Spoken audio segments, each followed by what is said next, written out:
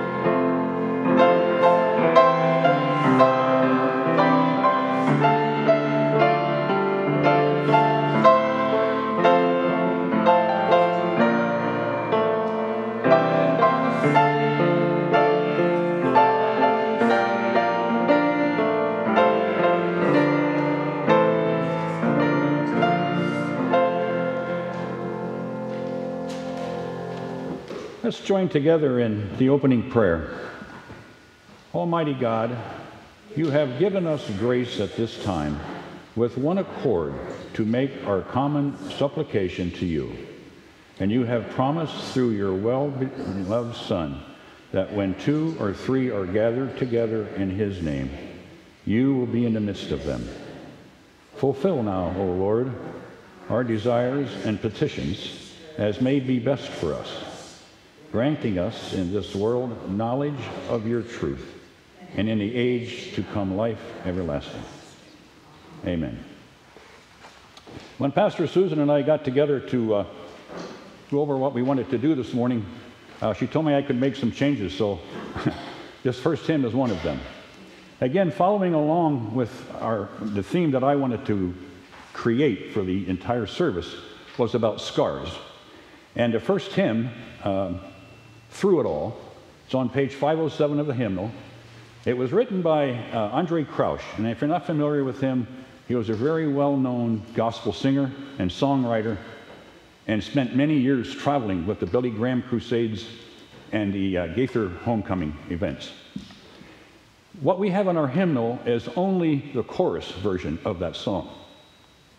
There are other words. And I want to share two of those verses with you this morning. So, what we're going to do is Diana's going to play the chorus. We're going to sing that. I'm going to read a verse. Then we're going to sing the chorus again. I'm going to read a second verse, and we'll sing a chorus for the third time.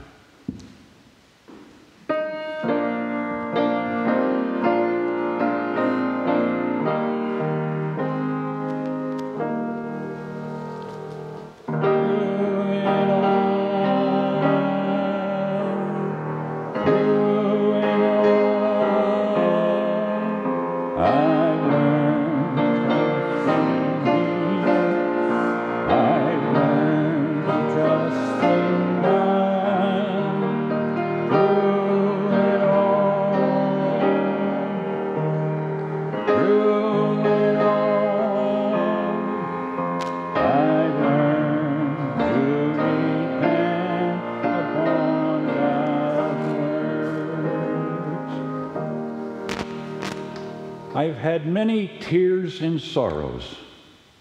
I've had questions for tomorrow. There's been times I didn't know right from wrong. But in every situation, God gave me blessed consolation that my trials came to only make me strong.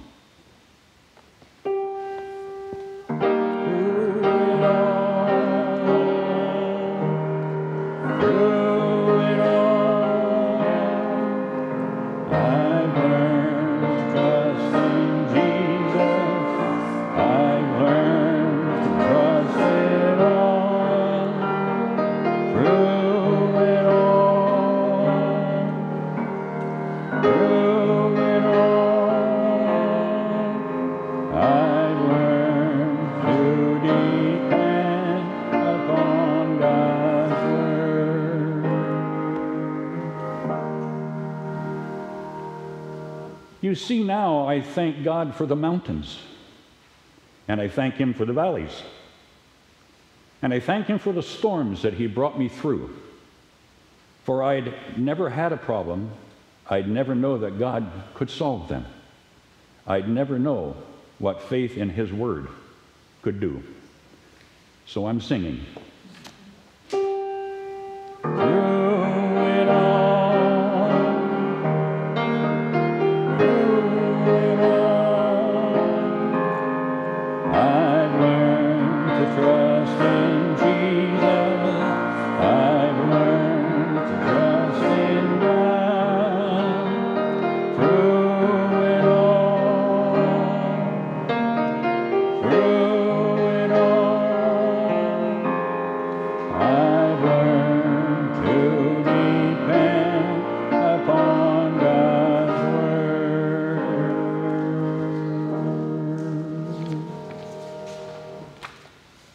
Let's join together in the Apostles' Creed. I believe in God, the Father Almighty, maker of heaven and earth, and in Jesus Christ, his only Son, our Lord, who was conceived by the Holy Spirit, born of the Virgin Mary, suffered under Pontius Pilate, was crucified, dead, and buried. The third day he rose from the dead. He ascended into heaven and sitteth at the right hand of God the Father Almighty. From thence he shall come to judge the quick and the dead. I believe in the Holy Spirit, the holy Catholic Church, the communion of saints, the forgiveness of sins, the resurrection of the body, and the life everlasting. Amen. Since we have, you may be seated. Since we have no children this morning, uh, that doesn't mean we're not going to have the noisy offering. We're just going to give the uh, ushers double duty this morning. So when it's time for the offering to take place. We'll have the ushers uh, take care of that as well. But we do, one of the things I wanted to do was, um, I was not going to have a children's message this morning, but I wanted to take us all back to our childhood days in, in church and Sunday school when we sang, Jesus Loves Me.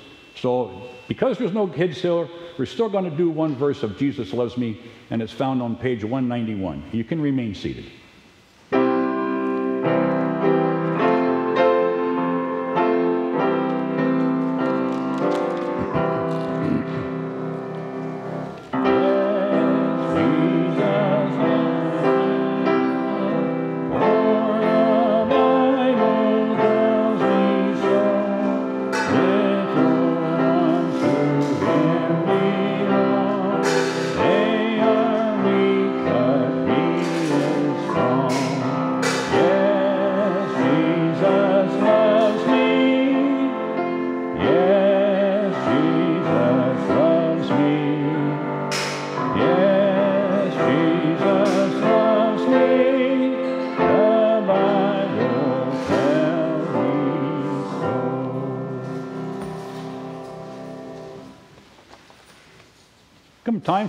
Joys and concerns, and we have some of each.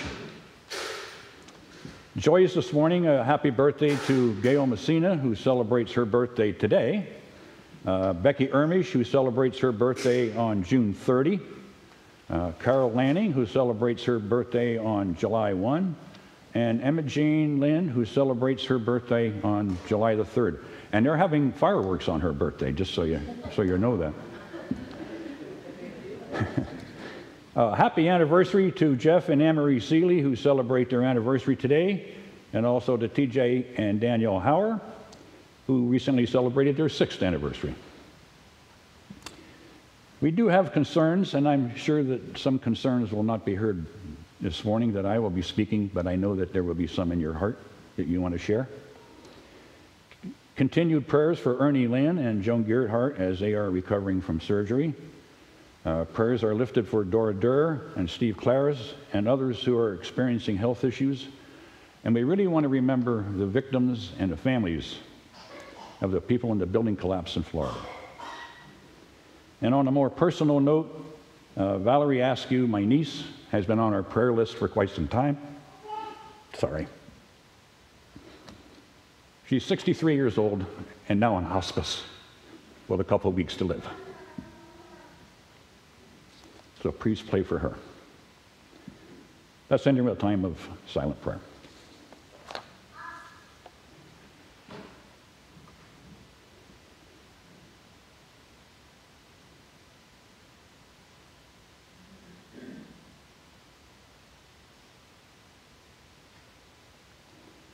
Heavenly Father, we thank you and praise you for this opportunity to work, worship together this morning, whether it be in person or online. We thank you, Jesus, for the gift of salvation that you have paid for us at great cost to you. We know that you experienced many scars.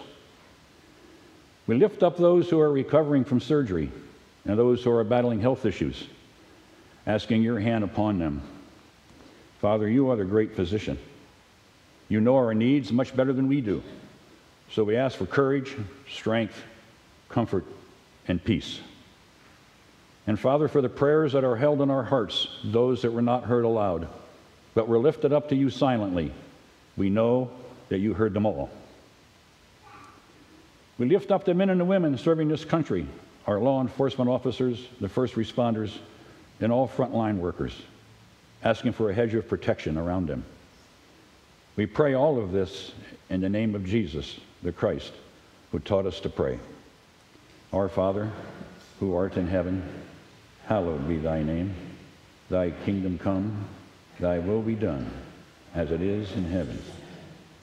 Give us this day our daily bread, and forgive us our trespasses, as we forgive those who trespass against us. And lead us not into temptation but deliver us from evil. For thine is the kingdom and the power and the glory forever. Amen. Our next hymn this morning, again, trying to follow along a theme of scars and, and uh, peaks and valleys. Uh, hymn number 288, Were You There, says, Were you there when Jesus was crucified? They nailed him to the tree, they pierced him in the side. And they laid him in a tomb along with two others. Just remember, though, three men were killed. As we sing this hymn, don't just sing. Try to concentrate on the words too. And just try to imagine the wounds that he suffered, cuts that were open, and the scars that he would have had as a result of that. And just imagine his poor mother, Mary, seeing those scars. Let's sing together. Hymn number 288. Were you there? Please stand if you're able.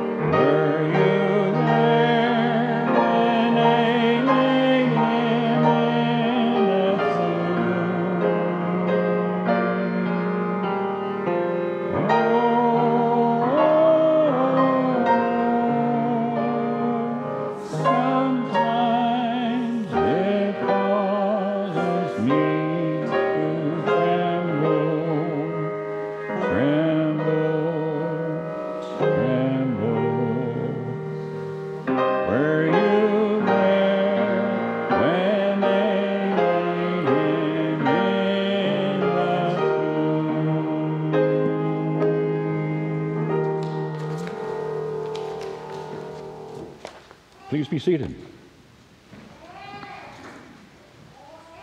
Were you there? Our scripture this morning is found in the book of Isaiah, chapter 53, uh, verses 3 to 5. And again, this kind of ties in with the theme of scars. Uh, and it's found on uh, the Pew Bible on page three, uh, 683 if you want to follow along. He was despised and rejected by men a man of sorrows and acquainted with grief, and as one from whom men would hide their faces because he was despised, and we esteemed him not. Surely he has borne our griefs and carried our sorrows, yet we esteemed him stricken, smitten by God, and afflicted. But he was wounded for our transgressions, he was crushed for our iniquities. Upon him was a chastisement that brought us peace, and with these stripes and scars, we are healed. The word of God for the people of God. The message this morning, I, I can't take the credit or the blame for it. This is not a Hower original. The um, conference uh, has an annual meeting, the Susquehanna Conference, and that was held last Friday and Saturday. And um, all the pastors and lay, a lot of lay people participate in that. And um, they suggested to pastors that they take some time off uh, following the annual meeting uh, to kind of reflect on the past year with the COVID and the things that the pastors had to deal with. Uh, empty churches, trying to reach the congregation uh, in ways other than uh, an in person service on a Sunday. So Pastor Susan decided she uh, wanted to do that. And uh, asked me if I would fill in. So I'm, i guess I'm honored that uh, she had enough guts to ask me to do this because she didn't know what I was going to say. So the, the, message this morning is not an original. Um, the conference, knowing that a lot of lay persons like myself would be uh, serving today, uh, actually offered about four or five sermons. Um, I, I chose one of those, but not the whole thing because I think that's a pastor that like to talk a lot. So I'm going to give you the Hower modified version of, of that message this morning. It's a sermon by uh, Reverend Judy Walker of the Susquehanna Annual Conference, and here are her opening remarks. Thanks to Reverend Victoria Rebeck, our Susquehanna Conference Director of Connectional Ministries, for collaborating on this time of worship and providing the liturgy for today's worship. I also give thanks for those who are participating and for those of you joining us in offering this time of Sabbath rest to your pastors. Now, here's your message. In the past, I've preached on the gospel that focused on Thomas, on doubt and belief and the fine line that separates the two. I've preached on the peace that Jesus brings in the midst of fear. I've preached on Jesus breathing out the Holy Spirit upon the disciples but today I'm drawn to Jesus and the wounds inflicted upon him by the crucifixion, the scarring still freshly evident from those wounds, and the intimate invitation to Thomas to touch them. She then turned to WebMD to find out more about wounds and scars. The wounds are injuries to living tissue. They can include cuts, scrapes, scratches, and punctured skin. When we or someone else touches a wound, there's a natural hurt. It's an involuntary reaction to pull back. Wounds without proper treatment can begin to fester and spread, and if not treated properly, can actually become deadly. Now, scars are a natural part of the body's healing process. A scar results from the biologic process of wound repair in the skin and other tissues. Most wounds, except for some very minor ones, often result in some degree of scarring. So, again, my apologies to those who can offer much better medical explanations, but from what I understand, wounds are injuries that are still unhealed.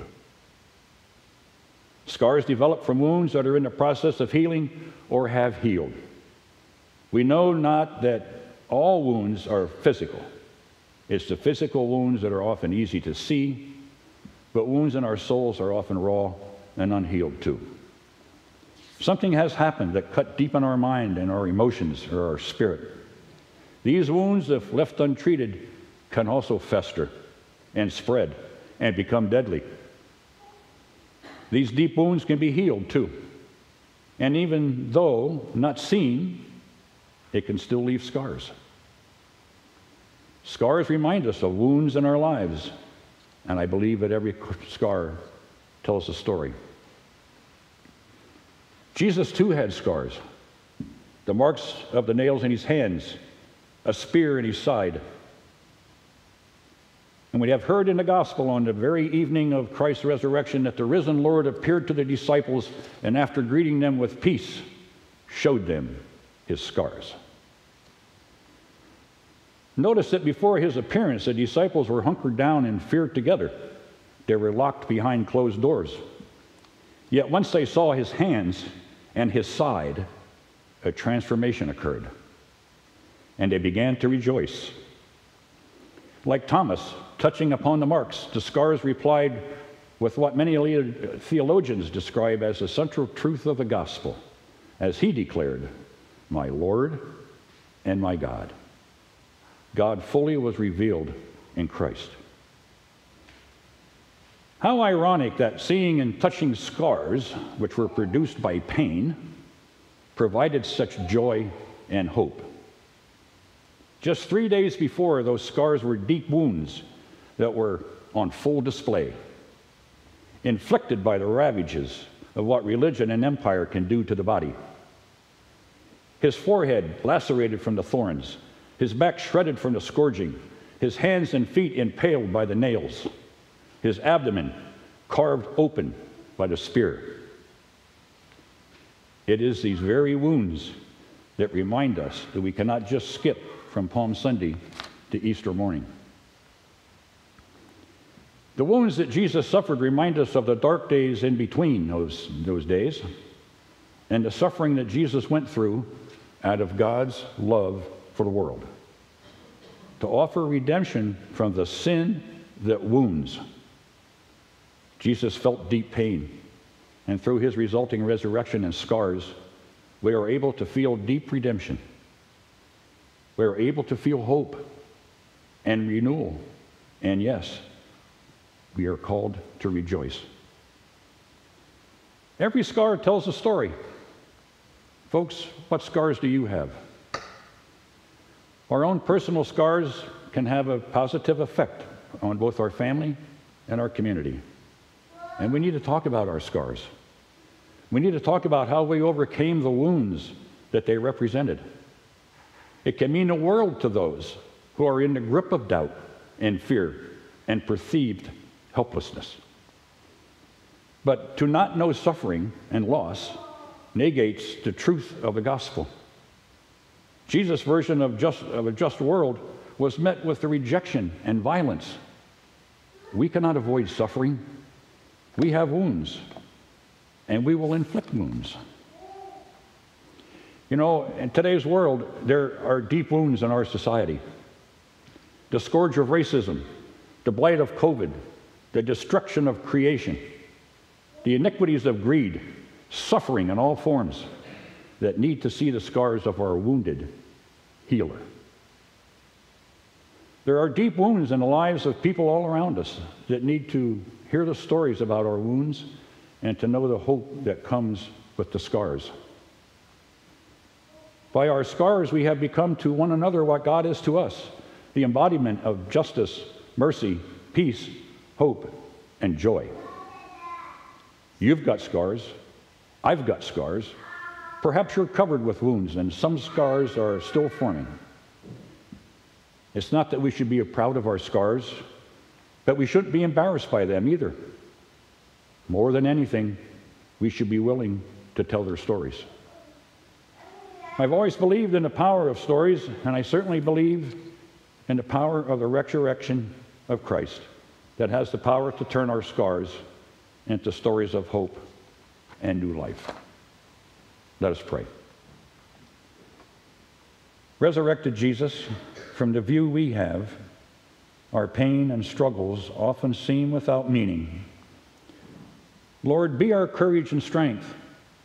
Bring us to a place where the pain eases and the rejoicing begins, to a place where we can share our story Remind us of your hope in the wounds that heal and leave a scar. A scar that will give us a story to bring to the nations and tell of your great redeeming love. Amen.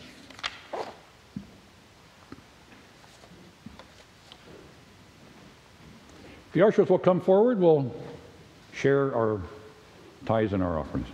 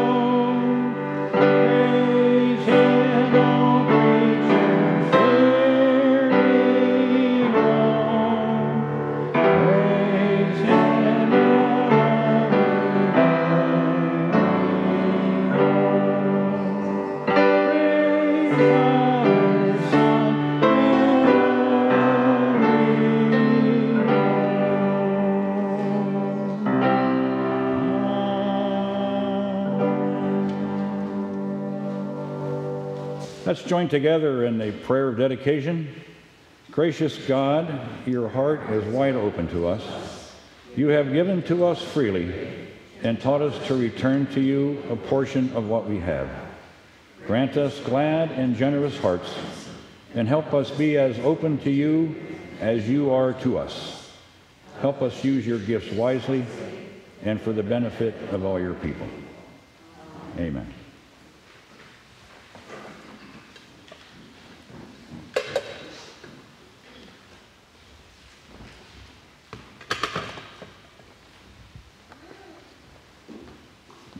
Our final hymn this morning uh, is entitled Take My Life and Let It Be. It's on page 399 of the hymnal. And as we sing this final hymn this morning, try to think about not just the music, but the words Take my life and let it be. Let Jesus help with your scars. Let him heal the wounds. Let him take your moments and your days. Let them flow in ceaseless praise. Hymn number 399. Take my wife. Yeah, my wife. Take my life and let it be.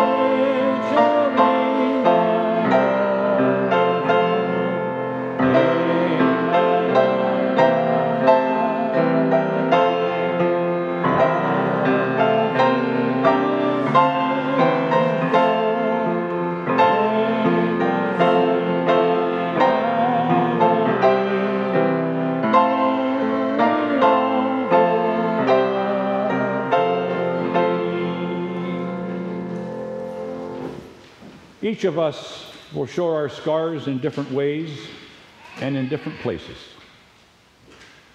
But our best moments will most likely come from those places where we have been scarred the most, where we have suffered or have caused suffering.